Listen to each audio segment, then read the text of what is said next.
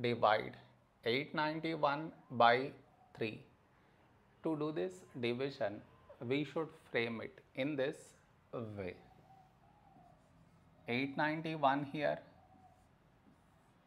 3 here. This is your step 1.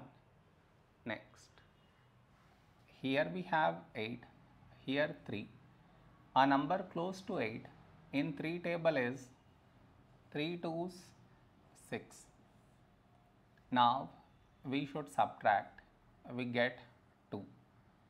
After this, bring down the beside number, so 9 down, so 29. A number close to 29 in 3 table is 3 nines 27.